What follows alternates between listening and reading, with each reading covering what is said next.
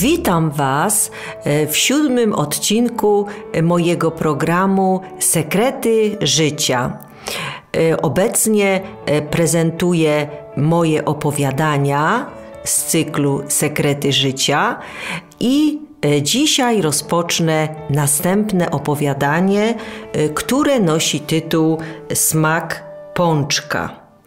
Pokazuje ono chorego na raka człowieka, który wchodzi w system leczenia onkologicznego.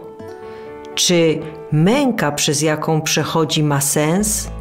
I czy czasem system nie wykorzystuje tej bezradności człowieka, który chcąc żyć, zrobi wszystko? W takich chwilach beznadziei można też doszukać się małych radości. Wszystko w życiu ma jakiś sens. W tym trudnym, ostatnim etapie życia ojca córka zbliża się do niego. Dla nich są to najpiękniejsze chwile, nawet w takiej beznadziejnej sytuacji. Opowiadanie Smak pączka Wstęp. Kiedyś podczas jednego z tych mroźnych wieczorów zdarzyła się rzecz niebywała. Słupek rtęci na termometrze za oknem pokazywał temperaturę minus 23 stopnie Celsjusza. Nie pamiętam już, czy to styczeń, czy luty fundował nam taki ziąb. Z nagrzanego do czerwoności kominka dochodził odgłos palącej się brzozy. Płomień tańczył na polanach taniec śmierci. Dla nich nie było już ratunku. Skazane na unicestwienie. Popychały cząsteczki powietrza, zwiększały ich energię kinetyczną. Przytulnie i przyjemnie. Ja i mąż, usadowieni wygodnie na brązowych skórzanych kanapach, wpatrzeni w ekran plazmy, gdzie rozgrywały się losy bohaterów szwedzkiego kryminału. Komisarz Wallander niestrudzenie polował na zwyrodnialca, który w brutalny sposób mordował kolejne ofiary. Prawie jakbyśmy tam byli. Nagle z filmu wzrok powędrował mimowolnie na abstrakcyjny widok, nierzeczywisty, niezwyczajny jak na tę porę roku. Tam, po drugiej stronie okna, w świecie tak różnym od zacisza domowego, mroźnym, brzydkim, odpychającym, mała istotka kleiła się do szyby. Na jej nosku rozlana czarna kropla atramentu rzucała się w oczy na tle bieli. Malutki kotek. Tam, na tym ziąbie, przebierał łapkami i uśmiechał się do mnie. Tak, jakby zawsze był mój. Jakby tylko wyszedł na krótką chwilkę za potrzebą. Tak, jakby tylko przewietrzył się i z powrotem wrócił do swojego lokum. Nieprawdopodobne. Skąd on się tam wziął? Żadnego smutku ani przerażenia na pyszczku, tylko radość i prośba. No wpuść mnie, przytul, pogłaskaj. Miałam wrażenie, jakbym to stworzenie znała od zawsze. Kotek wskoczył do sutereny, łasząc się o nogi i wyrażając swoją radość zadartym do góry ogonkiem. Nie bał się, ufał nam, mnie i mężowi. Wskoczył na kanapę i zasnął, wydając przyjemny dźwięk mruczenia. Podstępny wróg. Biel ścian ogromnej sali nie była tutaj przyjaznym kolorem. Abstrahując od tego miejsca, lubiłam ten kolor i w mojej garderobie wygrywał on z innymi barwami. W tym miejscu kojarzył się z bólem, cierpieniem, samotnością, beznadzieją i przygnębieniem. Ogromny budynek z zewnątrz mógł z daleka przypominać hotel. Z dużych okien czasem można było dojrzeć jakąś twarz. Tak jak w hotelu. Mieszkali tam pensjonariusze, ale nie z własnej woli. Nie przyjechali tutaj odpoczywać, ale podreperować swoje zdrowie. Pobyt nierzadko kończył się zejściem z tego świata. Drogę do rejonowego szpitala w Będzinie znałam już na pamięć i mogłam dojechać tam z zamkniętymi oczami. W ostatnich latach tę trasę pokonywałam dziesiątki razy. Na małym parkingu, mogącym pomieścić może dziesięć samochodów, zawsze udawało mi się znaleźć miejsce. Parkowałam i kierowałam swoje kroki w kierunku budynku. Oczom ukazywał się jakże smutny, czarny szyld. Dom pogrzebowy zaprasza. Nie wiem, kto wyraził zgodę na takie pesymistyczne powitanie chorego, który ma nadzieję jak najszybciej wyzdrowieć i powrócić do świata żywych. Obok budynku, w którym wyciągano ze zmarłego jego oszczędności, witał kolorowym szyldem bar. Jakże przyjemny widok spożywać posiłki, obserwując ludzi w czerni ze smutnymi twarzami.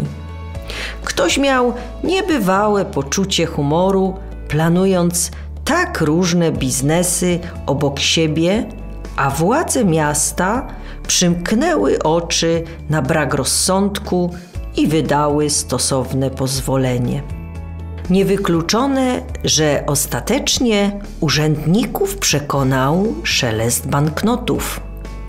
Niepozorne drzwi izby przyjęć obok stojących karetek pogotowia, dalej malutki korytarzyk, potem w lewo parę kroków i w prawo, i już schodami wchodziło się na oddziały szpitalne wewnętrzny, chirurgia, rehabilitacja, opieka paliatywna.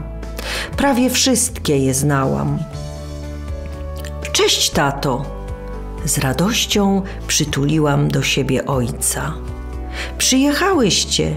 Mówiłem, że nie trzeba mnie odwiedzać. Niczego mi tutaj nie brakuje zawsze samowystarczalny, do wszystkiego podchodził pragmatycznie. Niepotrzebnie, Kasiu, wydajesz na paliwo. Oszczędny, ale nie miało to nic wspólnego z chytrością. Delektował się rosołem ugotowanym przez mamę. Makaron i kawałki wiejskiej kury znikały w jego ustach przez ostatnie lata bardzo się postarzał. Poorana twarz z podkrążonymi oczami na spiekocie deszczu i mrozie zahartowała się i zakonserwowała. Trud i znój codziennych dni, kiedy było ciężko, zaznaczył się w każdej zmarszczce to one były dowodem osobistym, życiorysem i portfolio. Napuchnięte ręce, usłane odciskami, z ubytkami w palcach straconych podczas cięcia desek na elektrycznej pile, pracowały kiedyś od bladego świtu do wieczora. Lata młodzieńcze taty przypadły na koniec II wojny światowej. Powołany do wojska, daleko od domu, musiał szybko dorosnąć. kiedy dostał telegram z wiadomością o chorobie ojca, zdążył jeszcze zobaczyć go żywego i pożegnać się z nim. Rak zabijał żołądek komórka po komórce. Nie było ratunku. Zmarł na drugi dzień w męczarniach. Gospodarstwo, praca na roli i trójka wprawdzie już dorosłych dzieci pozostała na głowie matki. Po powrocie z wojska dziewiętnastoletni chłopak stał się głową rodziny. Brat zaciągnął się do wojska i wyjechał do stolicy.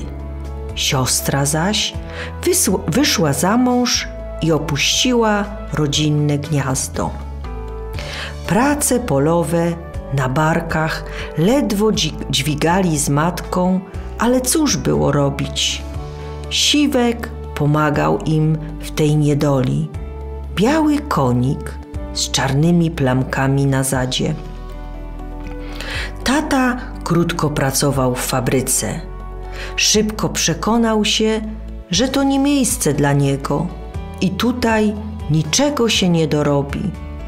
Wśród najlepszych uczniów szkoły wybijał się ten niepozorny i biedny chłopak.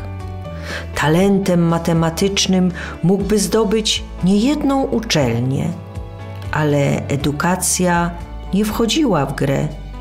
Potrzebna była pomoc matce i szybki zarobek. Wirujące myśli, przerwane nagłym krzykiem, odeszły na chwilę gdzieś w zamierzchłe czasy. Zostawcie mnie w spokoju! krzyczał trzydziestoletni pacjent sąsiadujący z łóżkiem taty, kiedy pielęgniarka podawała mu codzienną porcję leków. Zabrany wprost z ulicy narkoman o długich, posklejanych włosach. Ledwo można było dostrzec rysy jego twarzy. Kiedy budził się z narkotykowej nirwany, bełkotał, harczał i rzucał się nagle na kogoś, kto był pod ręką. Szpital to jedyne miejsce na ziemi, gdzie wszyscy są równi pomijając te prywatne placówki. Przekraczasz próg, dostajesz łóżko, pościel, sąsiada i jedzenie. Na karcie pacjenta zawieszonej na ramię łóżka krzywe pokazują Twoją temperaturę ciała i komunikat był lub brak stolca. To już nie jest tajemnicą, czy rano byłeś w toalecie i coś tam zostawiłeś. Od tej pory Twoje intymne sprawy nie są już tajemnicą. Wie o nich cały oddział szpitalny i są one na wagę złota. Wysłuchaliście pierwszego odcinka mojego opowiadania pod tytułem Smak pączka. Zapraszam do wysłuchania kolejnego odcinka programu Sekrety Życia. Również możecie go posłuchać na kanale YouTube. Pozdrawiam.